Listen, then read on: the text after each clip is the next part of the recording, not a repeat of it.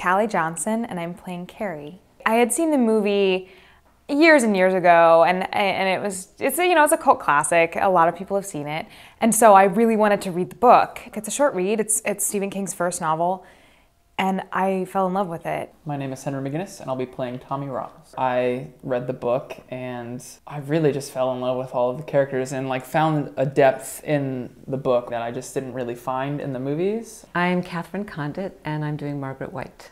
The original movie was from my era, so yeah, I remember it very distinctly. I thought it was fantastic. I love Stephen King. I've read a lot of Stephen King, so I like the horror genre a lot.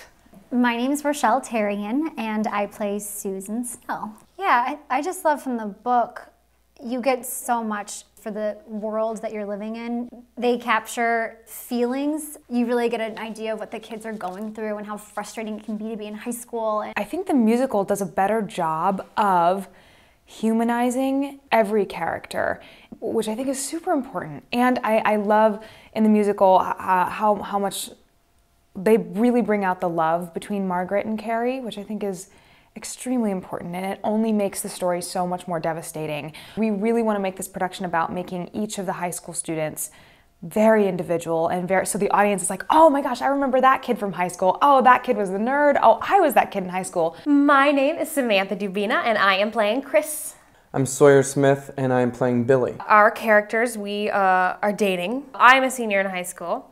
And I am a two year super senior. and you might describe us as the villains of this show. Mm-hmm. The musical is written in a way that allows all of the action to happen on stage and within the confines of like the classroom, whereas the book takes place very cinematically. Overall, the, the characters all translate really well into this play.